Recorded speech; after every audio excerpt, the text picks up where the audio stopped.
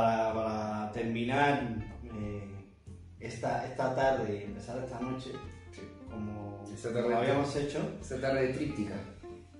qué mejor que, que concluir con una novela de uno de los más grandes eh, escritores norteamericanos del siglo XX, que es, eh, y que para, para mayor suerte todavía está vivo y escribe, que es el señor Ah, Cormac, exacto, Cormac McCarthy, McCarthy. Es un escritor norteamericano que nació en, en 1933. Y eh, vamos a, no- al final nos hemos leído su segunda novela, que de hecho es una de las novelas más, digamos, crípticas, ¿no? Mm, Oscuras. Nunca mejor decirlo, ¿no? Él es oscuro, pero esto, esto- Decirlo. él es oscuro, pero esto tiene una oscuridad adicional. Precisamente, precisamente la novela se llama así, ¿no? La oscuridad exterior. ¿no? Sí, la oscuridad, sí. que es su segunda novela, eh, pero y, y que, y que es una obra increíble que ya, ya iremos viendo. Es una novela, tengo que decir, publicada en el año 1968. ¿no? Eh, luego ya él se haría famoso por, por otros libros, ¿no? Sí, por. La carretera, por la trilogía La frontera y, eh, y también por eh, mm, Meridiano de Sangre, ¿no? que es, Creo que es es, una novela es la gran novela, ¿no? De, sería su gran novela. la gran novela de de.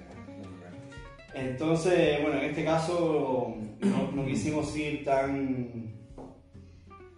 Siempre queremos buscar algo que sea un Exacto. poco. Sí, bueno, una novela diferente, una novela que no, Secundaria, que no se digamos. lee, una novela secundaria, ¿no? Para ver qué. de transición. A y veces, a algunas veces cogemos alguna novela pues, que, que agarra mm, justo ese proceso hacia la gran obra. Claro. Alguna vez hemos visto más bien ya novelas de, de la decadencia, ¿no? Eh, y bueno, alguna vez Pero una novela- a, a veces nos encontramos con joyas como Sí. por ejemplo esta, ¿no? O sea, porque al final dentro de toda esa oscuridad Sí, sí, es una eh, cosa... es una cosa maravillosa, ¿no? O sea, es increíble como Cormac McCarthy, además como personaje, para entrar un poco también en la chicha, ¿no? De, que le gusta a todo el mundo, que es saber un poco del autor, eh, pues este poco puede saber, ¿no? Porque es justamente este tipo de autor que no da con- eh, Entrevistas. conferencias, eh, Muy de la escuela de, de esta Fincher, gente ¿no? sí, Que habíamos visto en, el club. Sí, hay como una triada ¿no? ahí Sí. de, de escritores Sí. un poco como entre an- anónimos, por decirlo de alguna manera. que no de, Illo, que también lo vimos. Eh, De Rod, que vimos el, el ensayo de Sí, Rod. pero de Lillo y de Roth me parece que sí que, Claro. que han sido bastante más eh, mediáticos. Pero aquí estos son, son personas que en sí no puedes saber muy bien de qué van, ¿no? y sus libros son Escribe espectacular, de una manera Sí. increíble. ¿no? sí, así como lenguaje poético, de- decir eso, que es, es sureño. Eh, de hecho, le llaman el, bueno, el nuevo Fauner, ¿no? como un gran seguidor de Fauner. Sí. Es del sur Melville también. también tiene tiene una mezcla Exacto. tiene una mezcla entre esa esa oralidad esa, esa atmósfera eh, de, las, de las historias de Faulkner ¿no? Eh, sobre todo porque se sitúa ¿no? en ese territorio pues siempre desértico eh, con ese halo siempre de algo como abandonado ¿no? como que algo que fue pero ya ahí no hay nada más que pillos y gente Gente que, que va en serio, ¿no? O sea, no, no tiene medias tintas, no, acá sangre se paga con sangre Sí. y, y en ese sentido pues eh, hay varios autores sureños que tienen este, este toque, ¿no? Y sin embargo tiene otra cosa que es que sus novelas eh, sí que siempre está pasando alguna cosa. Sí, sí, está. No gira, el no- vilo, ¿no? Hay un Claro, En el misterio caso de, en el caso de Faulkner siempre hay como una especie de, de situación, de ocultamiento. de sí. ocultamiento de la situación verdadera y tú estás ahí como intentando a través de esos personajes siempre tan sesgados o porque tienen un problema cerebral o porque eh, no saben toda la historia o lo que sea, tú estás ahí Y en cambio aquí estamos, eh, digamos, es como una, el otro lado, la otra cara de, de- de la forma de contar este tipo de historias. A pesar de que el contexto es bastante parecido, sí que es verdad que aquí tenemos una historia. Aquí de hecho tenemos tres historias. Claro. De hecho tenemos Aquí tres al- historias. Esto ya es- al- de entrada es lo que, te- lo que, lo que te sorprende de la novela. ¿no? Sí. que la novela comienza con un pasaje precioso, poético, donde nos está describiendo la ascensión de tres hombres a una cumbre así en el atardecer. ¿no?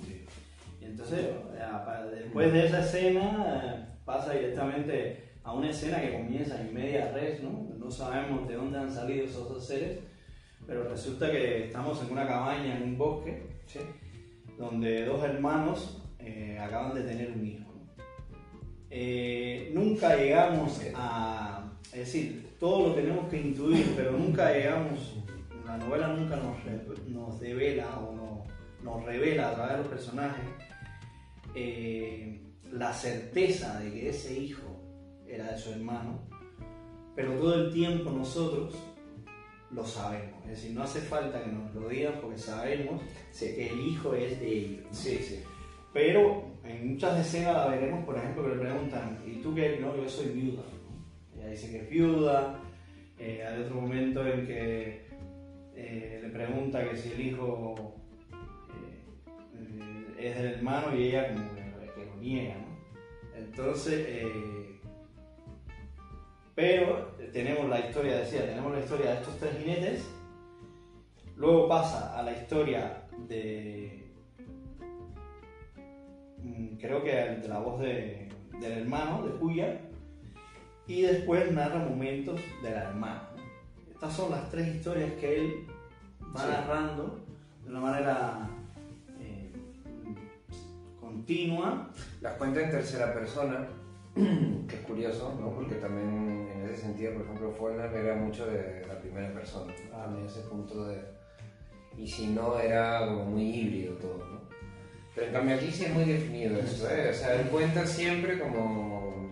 Está por encima, digamos, de, todos los personajes. Es el, creador de todo. Y, va separando poco a poco, hasta que ya es clarísimo, la historia eh, del hermano y la de la hermana, ¿no? Ambos, que es otro rasgo bastante característico de, de McCarthy. Yo, por ejemplo, inmediatamente pensé en la carretera cuando leí las primeras partes de, porque siempre en la carretera ya eh, los, el personaje, el padre y el hijo ya están huyendo, ¿no? Están buscando cruzar Estados Unidos en ese sentido para, para encontrar una oportunidad, ¿no? Esa es la, digamos, eh, eh, podríamos decir el resumen de lo que es la historia de la, de la carretera en un mundo completamente, pues, eh, apocalíptico, donde ya todo está terminado, ¿no?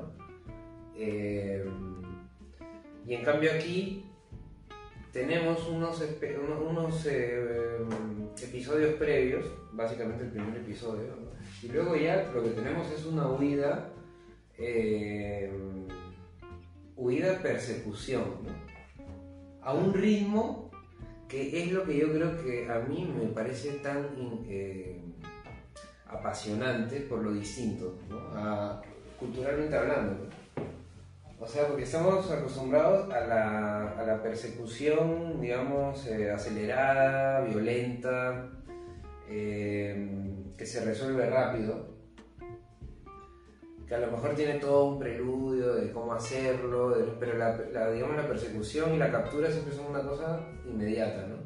Y en cambio aquí, la velocidad del lugar en el que ocurren las cosas está impregnado en todo. Entonces las persecuciones también son unas persecuciones interminables, ¿no?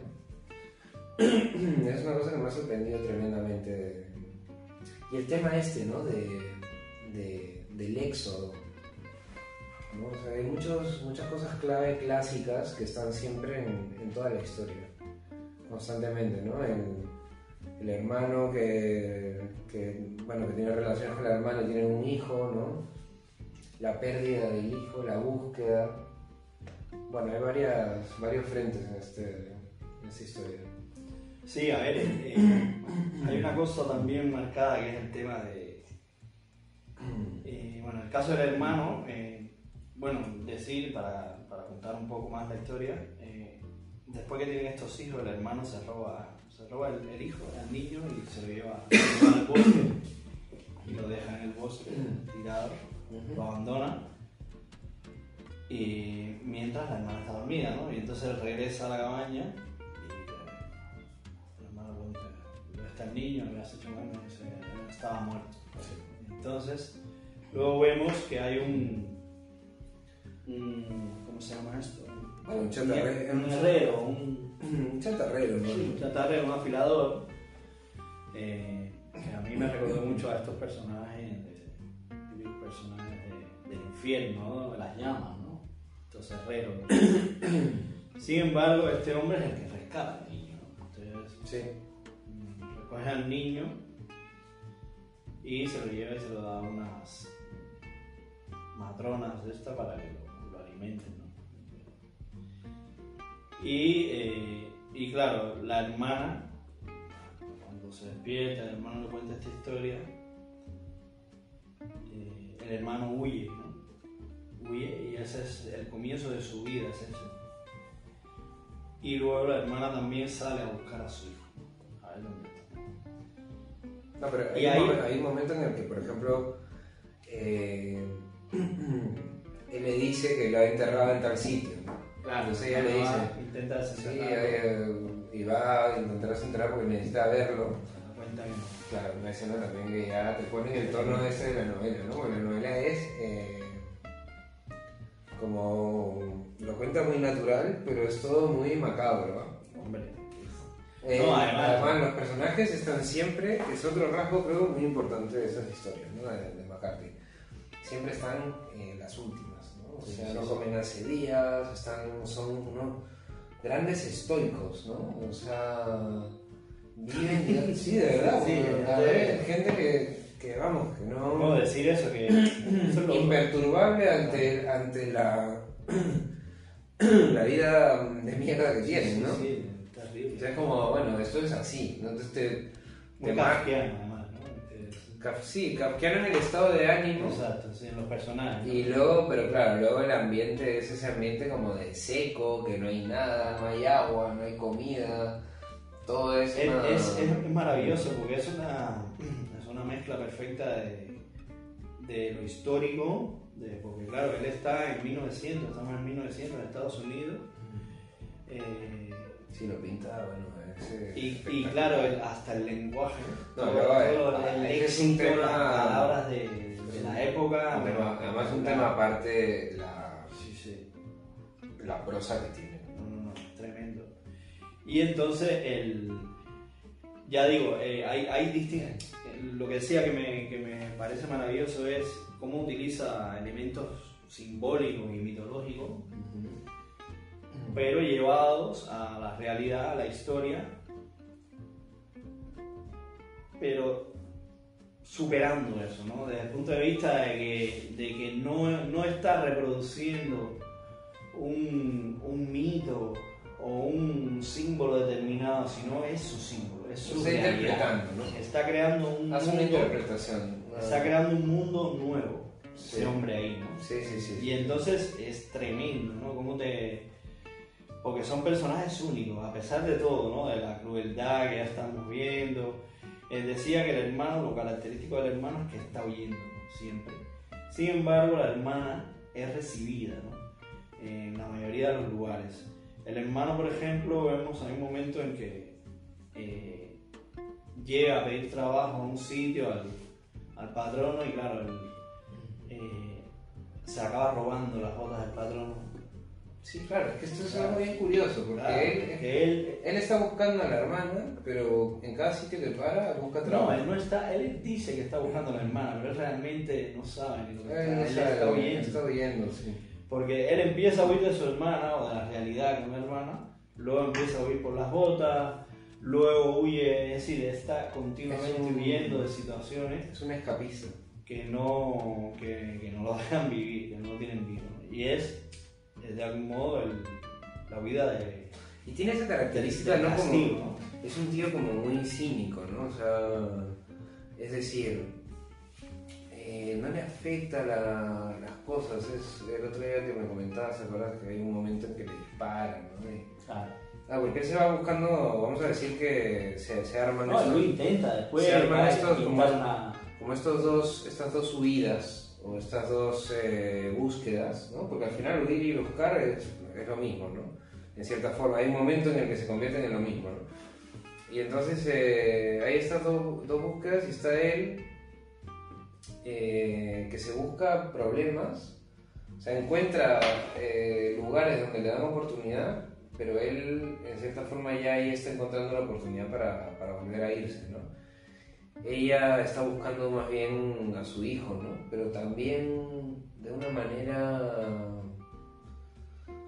es casi como una persona que no que, que- que está buscando la muerte.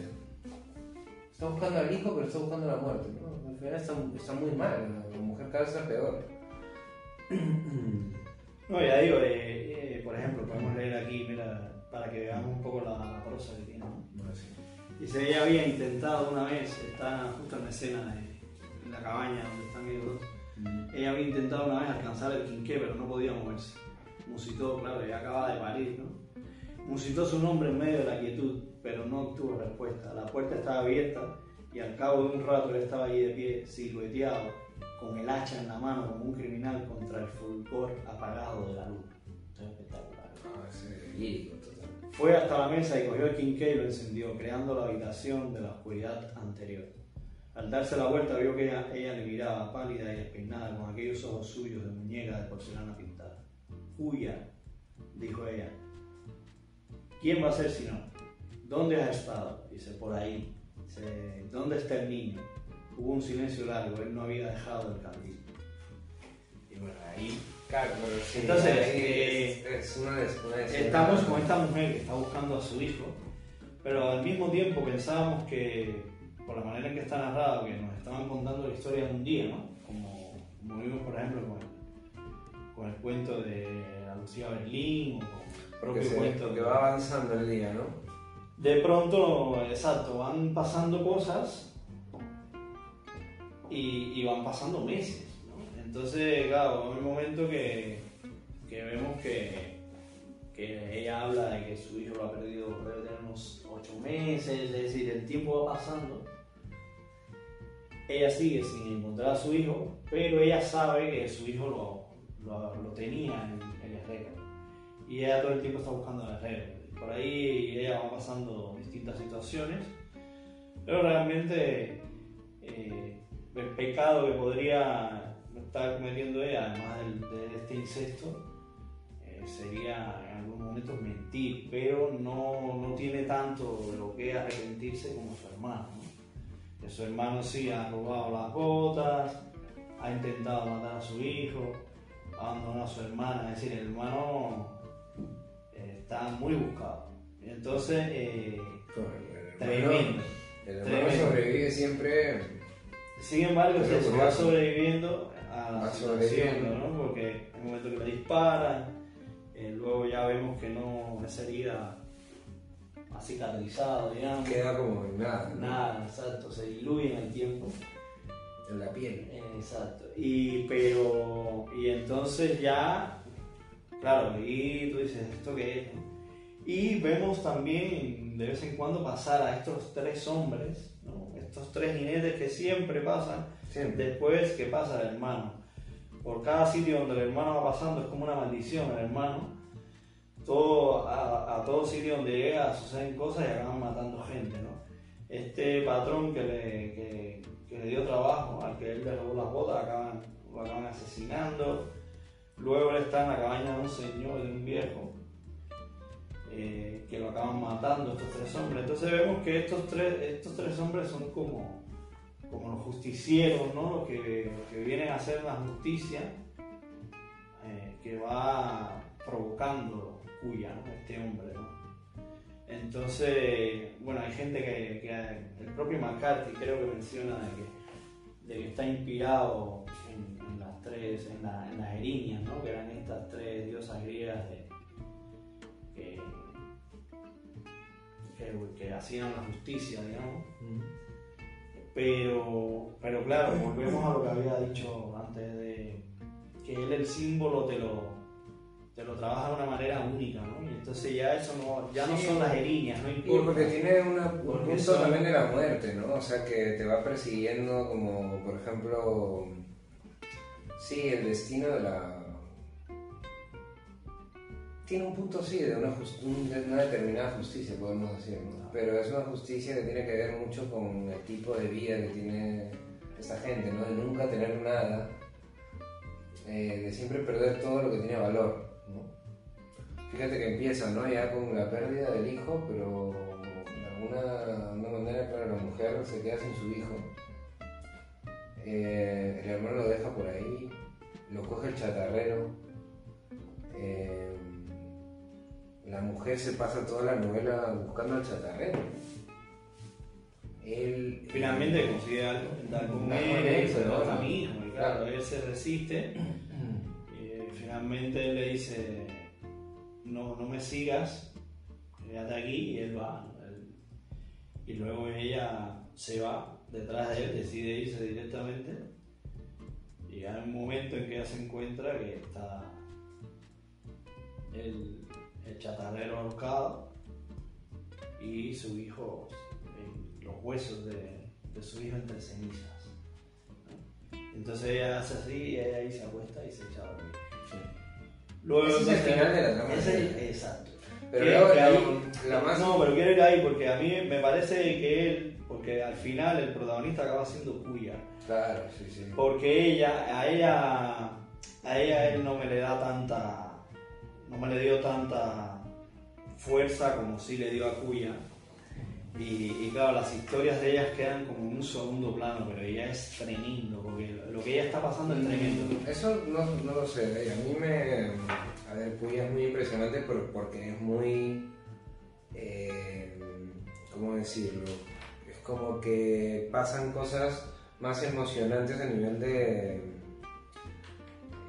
hay persecución, que, que se va con las botas, que siempre hay armas de por medio, de que algo va a pasar, hay este mini naufragio en el río, ¿no?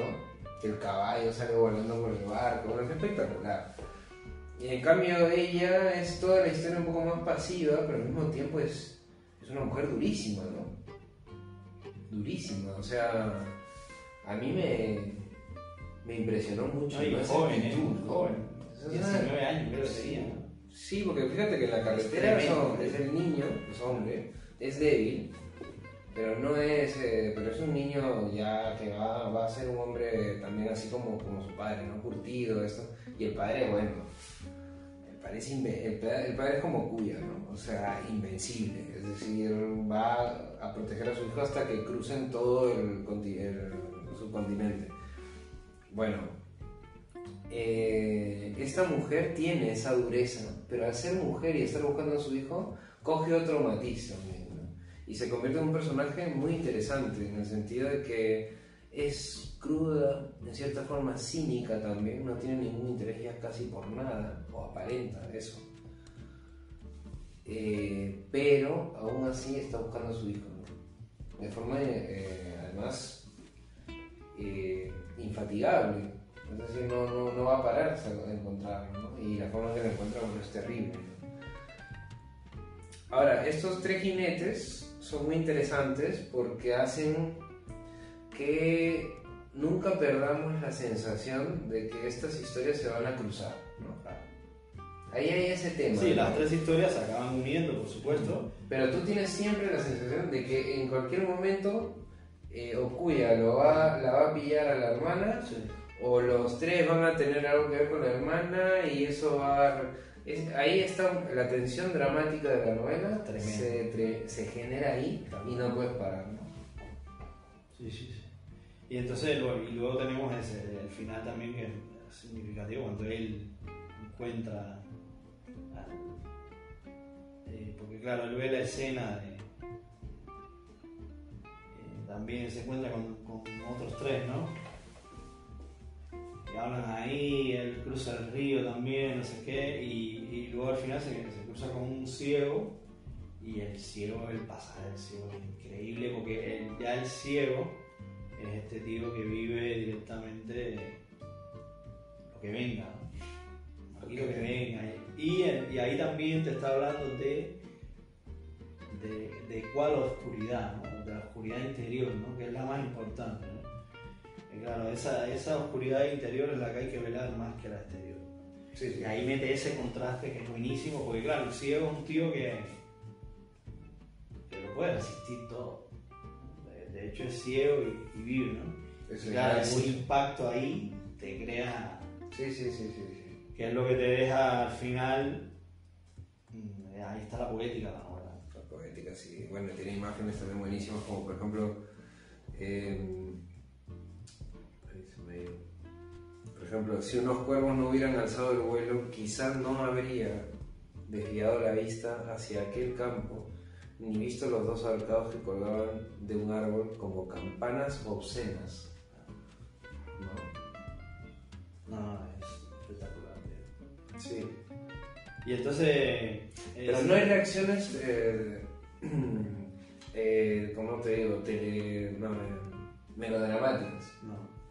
No, no, al No hay contrario. melodrama, o al sea, contrario, o sea, hay una crueldad tremenda. claro, pero las situaciones, pero las situaciones Pero es una darían- crueldad fría, ¿no? Porque es como que. Sí, da igual, además. eh, tú vas leyendo la novela y de algún modo tú dices, bueno, Te acostumbras. si aparece la justicia por ahí, la justicia no aparece. Es decir, es tremendo. es- Es lo que decía, es un poco Harold eh, Bloom de, Sí.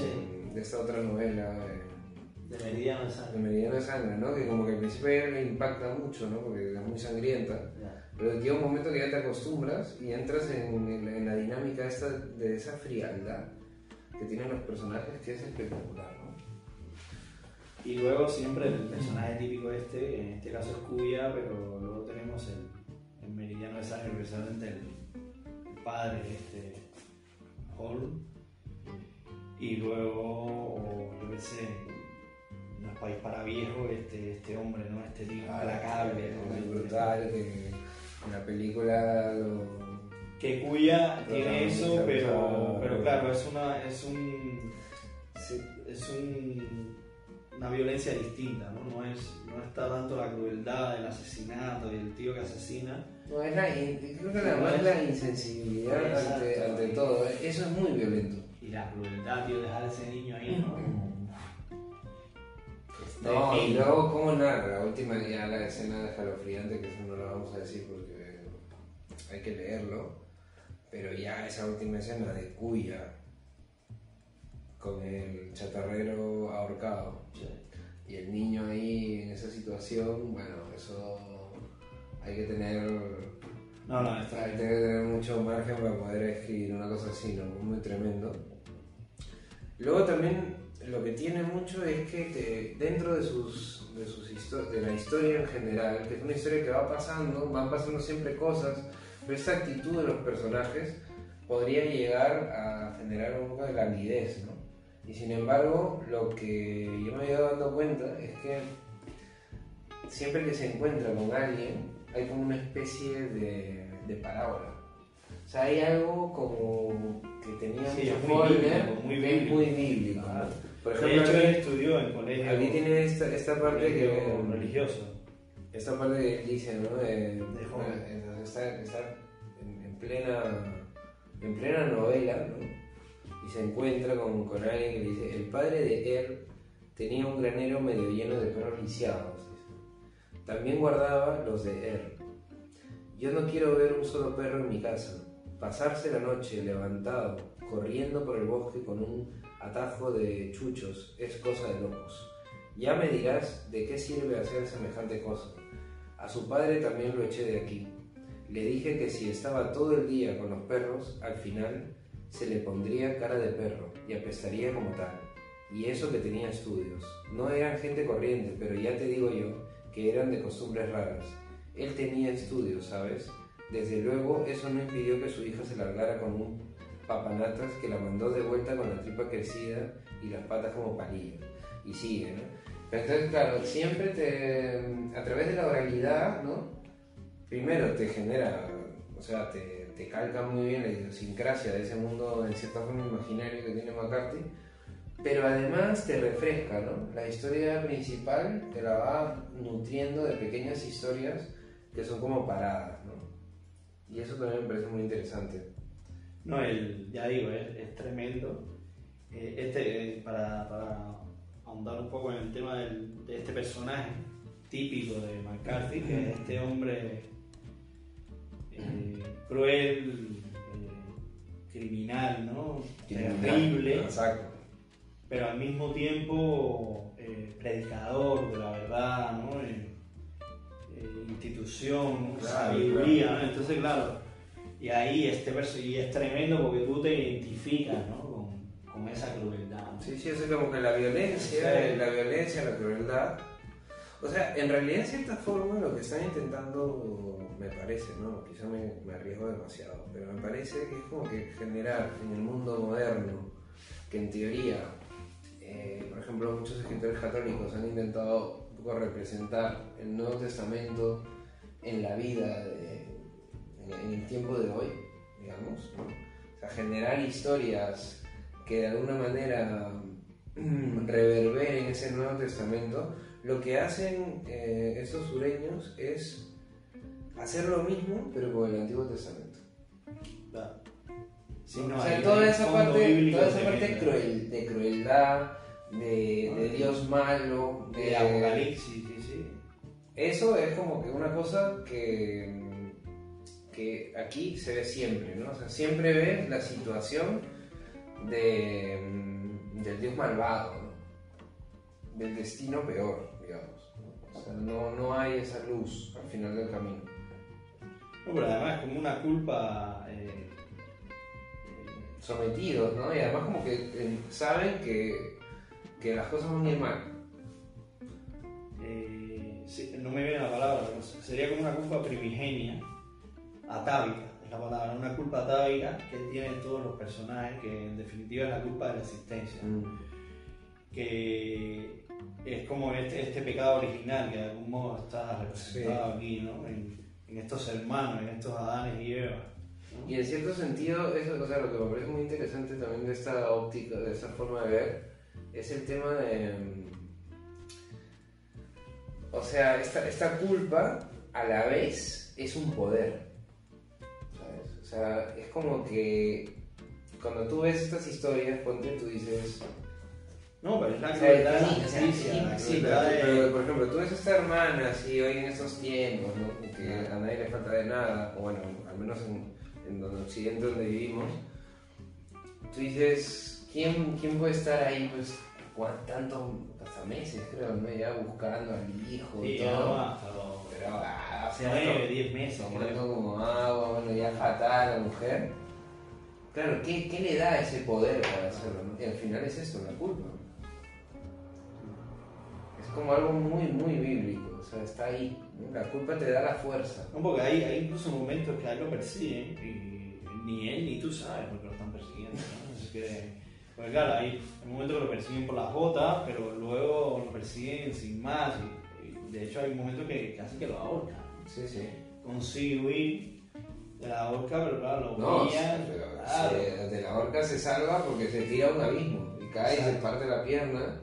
O sea que, claro, esas partes, por ejemplo, que al héroe le, le pasa algo, él omite eh, la recuperación. Exacto. Él ya te vuelve a contar cuando él ya está recuperado, Sí. ¿no? Lo de la pierna, por lo visto, la, escena, la escena de los, que precisamente ahí, la, la escena de, de los cerdos, bueno, en lugar de pastores son como, eh, son ganaderos pero de cerdos, ¿no? Increíble. La estampida. Cientos y cientos, y, de pronto él ve pasar a. Chico Y- encima del caballo, que los cerdos se lo llevan por el abismo y se va. Y le echan la culpa a él. claro, ahí es cuando le, le echan la culpa a él Pero de si tú eso. lo viste, le dicen. Claro, no saliste a ayudarlo, claro, el tío estaba flipando, Claro. ¿no? Y dice, ¿esto qué es? no? Y traen al juez y dicen, no, no, vamos a ahorcarlo. Exacto. Porque Y ahí- culpable. Y claro, y el tío Tremendo. la vio, dijo, uy, acá, bueno. O sea, al menos o muere un instante o. Pero yo. me robaron unas botas, ¿no? Dijo, ¿qué hago aquí? Y entonces, sí, sí, sí. No, tiene escenas buenísimas. Tiene, por ejemplo, cuando él eh, está con las botas y se coge el, el ferry este para cruzar el, el río. Y de pronto, en medio del, del ferry, hay una, una, un pedazo de tormenta, no sé qué, está ahí encuentra pues las botas, ¿no? se las pone, que parece como una especie de, digamos, de compensación divina.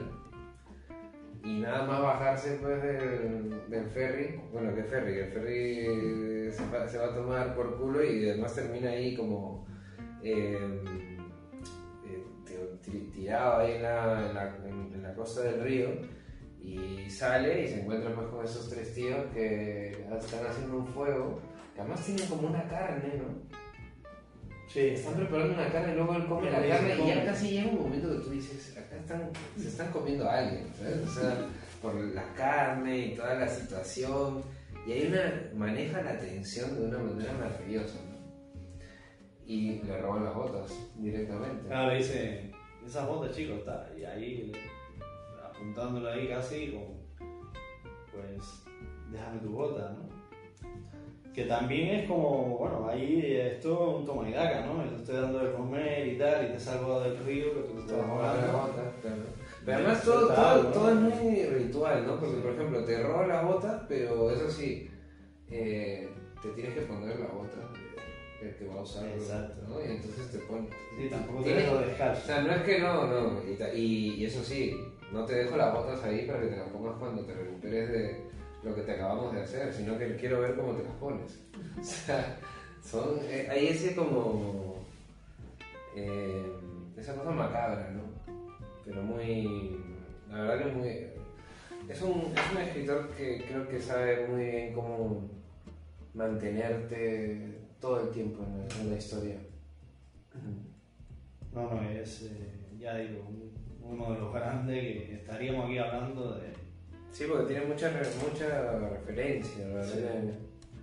No, Sí. sin duda, eh, un poco por, por el tema como hora de transición quizás, ¿no? Luego veremos un McCarthy más eh, anecdótico, más directo quizás, ¿no? En una secuencia distinta, no, no con esta, esta novela compleja, ¿no? Con estas tres historias, con... Claro, es, es un portento, ¿no? Sí, sí, sí. Sí, pero igualmente te digo que no sé. Pero- Yo creo que es más, es un poco su. Su estilo siempre un poco. que te deja un poco volando, ¿no? Que no sabes al final realmente qué cosa es lo que ha sucedido. ¿no? Sí, muy familiar. Sí, sí, al final te quedas así un poco como. Y claro, es, es increíble, ¿no? Como, como la tradición aquí, espectacular. Sí. Entonces, bueno, no sé si tienes algo más, Enrique. o No, yo creo que esto es lo que podemos decir. eh, Sí, bueno, esta, hacemos esta propuesta de, de McCarthy que lean esta novela, La oscuridad exterior y, y cualquiera. En definitiva. Hay que leer a McCarthy que, que es muy bueno y yo pienso que ahora que ha salido esta novela nueva suya, yo, si fuera, si fuera el caso, leería primero algo anterior y Claro. luego ya me lanzaría la última, ¿no? Porque siempre estas últimas novelas, aunque no dudo que será increíble, pero siempre ya son un poco síntesis de todo lo que se ha hecho antes, ¿no? Y yo creo que hay cosas para leer que son espectaculares. Entonces, bueno amigos, esta es la propuesta que, que traemos para, para ustedes y nada, nosotros seguiremos leyendo siempre que, siempre que podamos Vamos y ya estaremos aquí una vez más para compartirlo. Así que bueno, buenas noches. Buenas noches.